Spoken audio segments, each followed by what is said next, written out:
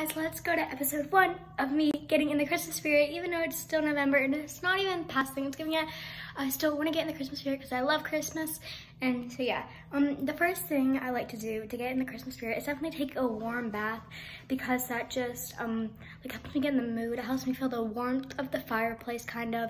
And so that's what I'm going to be doing today is showing you how I get my warm bath ready for my Christmas spirit build up. Below if you know this movie.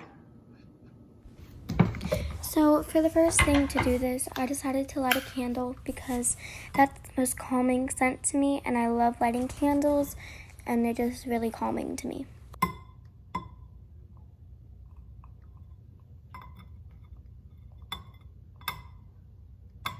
As you can probably see, the burners didn't want to really light, so I had to try a little bit harder.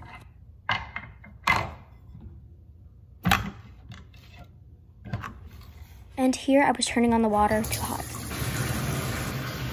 And right here, I'm putting up my hair in a messy bun because um, I didn't want to get my hair wet because I already washed it the night before. And I didn't want to have to deal with wet hair.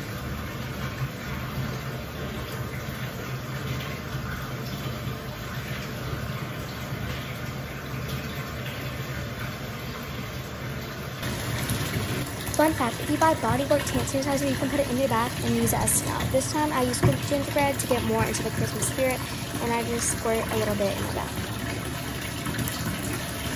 Calming bath. Thank you guys so much for watching me get into the Christmas spirit.